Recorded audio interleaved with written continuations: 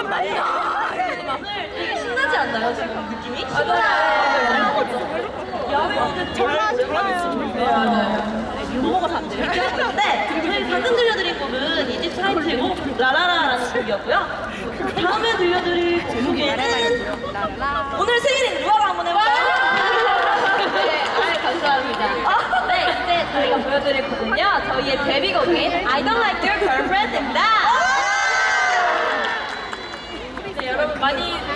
사귀었어요. 안녕. 생일 축하하고. 아, 그래요? 네, 여러분 끝까지 재밌게 즐기다가 그리고 안전 유의해 주시기 바랍니다. 그리고 저희가 또 다음 주에 10월 11일에 컴백을 하거든요. 네, 많은 기대 부탁드리고요. 키키 많이 사랑해 주실 거죠? 네.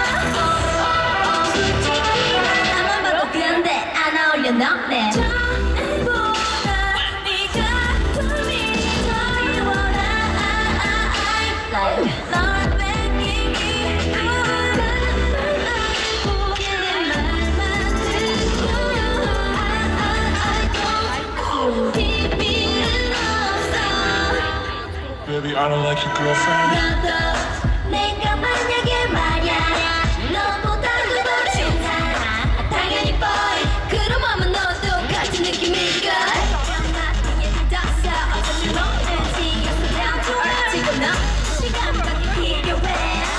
말일 수도 있어 제